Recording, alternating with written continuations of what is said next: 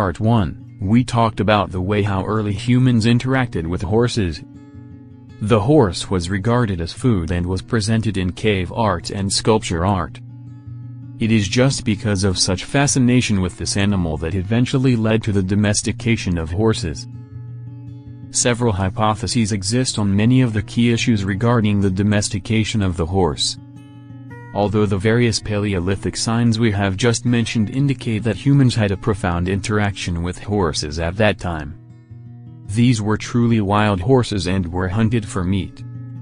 So now we need to review the definition of domestication. Some zoologists define domestication as human control over breeding. Archaeological evidence indicates that the domestication of horses had taken place approximately 6,000 years ago. In the steppe lands north of the Black Sea from Ukraine to Kazakhstan. Despite intensive study over a long period of time, many questions remain about the early development of the species as it underwent domestication. One crucial question involves whether domestication was limited to a single location, or occurred in multiple areas.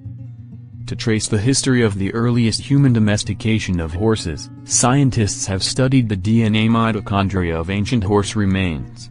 The mtDNA data indicated that there were multiple sites of domestication, with a large number of mares in the first populations, and that genetic input from local wild horses, had been introduced into the domestic gene pool as domesticated horses spread.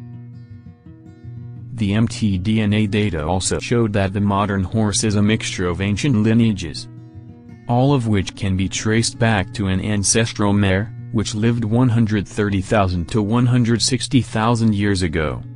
Thus, there is no clear mtDNA signature for modern horse breeds. Different scholars have different disagreements on the origin of domestic horses. Here we use the theoretical assumptions put forward by James Cossar Ewart in Scotland, and Johann Ulrich Duerst in Germany as a reference. That three of these are generally credited as being the ancestral stock of the domestic horse. They are Przewalski's horse from Central Asia, the Tarpan from Eastern Europe and the Ukrainian steppes, and the forest horse of Northern Europe. When it comes to Przewalski's horses, we must focus on a region located in what is now northern Kazakhstan 6,000 years ago, the village of Botai. At the Botai site, archaeologists have found numerous horse bones, harpoons made from horse bones, and horse bones with symbolic carvings. By testing the pottery pieces unearthed at the site, it was found that there were residues of horse milk fatty acids on the pottery pieces which proved that the Botai people at that time both ate horse meat and drank horse milk. In addition, horse dung was also found in the cultural layer of the site, which is also evidence of the long-term survival of horses here. Therefore, zooarchaeologists speculate that the Botai people at that time, had begun to domesticate horses and could raise horses.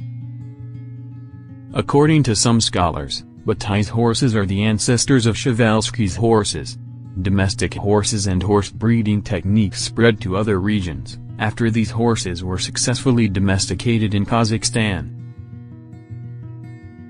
However, different voices questioned that Przewalski's horse was different from modern horses before domestication, because it had 66 chromosomes, whereas modern domestic horses had 64. Modern Przewalski's horses are descended from Eurasia, a distinct regional gene pool in the eastern prairie, rather than the same genome that gave rise to modern domesticated horses. As a result, some taxonomists consider the Przewalski's horse to be a distinct species, rather than a subspecies of domestic horses. Another ancestor thought to be the domestic horse is the tarpan. The original tarpan was an extinct horse subspecies scientifically known as Equus ferus ferus. Inhabits the entire land from Western Europe to Alaska, as well as parts of Eastern Europe and the Eurasian steppe.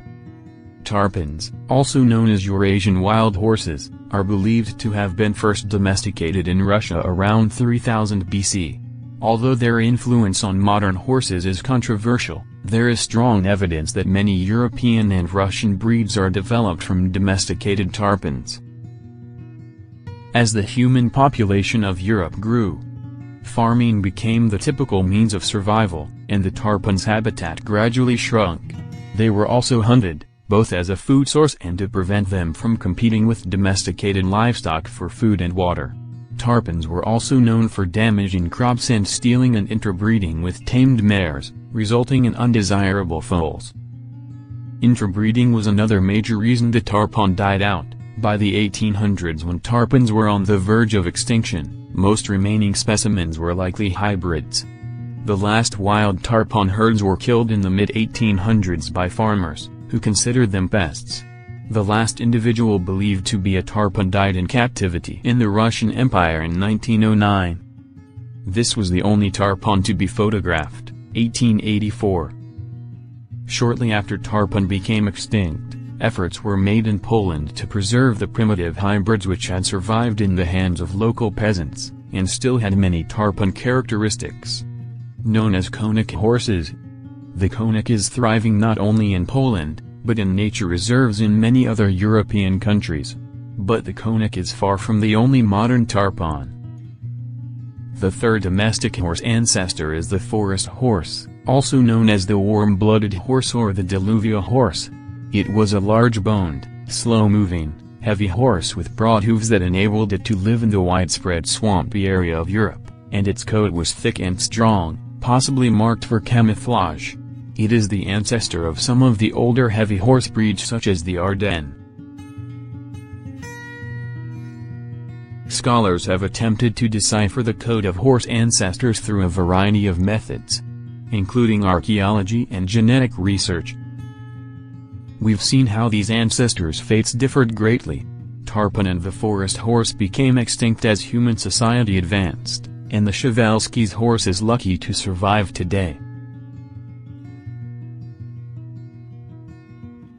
Human beings, as the most advanced intelligent organism on the planet, have introduced challenges and threats to the life and living environments of other organisms.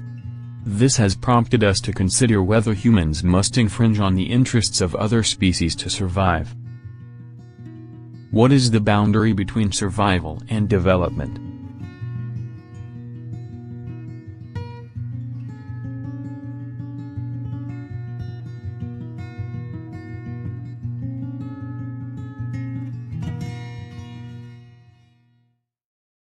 Thank you for watching. We are committed to helping people know more about the world by sharing knowledge of the horse and history. If you like this video, don't forget to like and subscribe.